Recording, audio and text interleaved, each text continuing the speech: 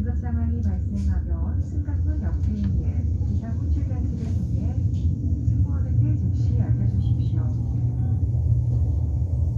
아울러 초토 종사자에 대해 폭행 및 협박으로 직무 집행을 강요한 행위는